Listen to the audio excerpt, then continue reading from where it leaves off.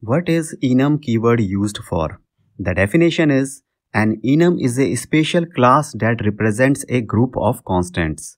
Suppose you have some fixed values in your project, okay, and you want to assign numbers to them.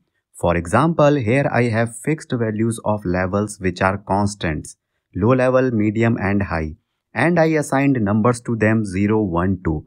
This is fine, we can access these constants, anywhere now. But suppose tomorrow we get one more constant like medium high. Then where shall I put it? Shall I assign it value 2 and set the value of high as 3? This may bring inconsistency and problem in the application.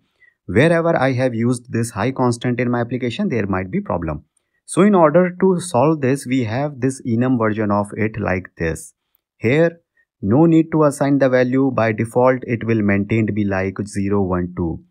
Tomorrow, if you will add medium high constant after medium and before high, that will automatically adjusted. So that is the use of enum. Now this is the way to access your enums. Level dot medium. Super simple. One more example is here like weekdays, Sunday, Monday, Tuesday, etc. etc.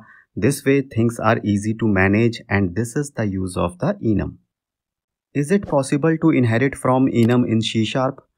That is not an important question but I tried out of curiosity and see it is showing the compile time error saying enum is a sealed class type so it cannot be inherited.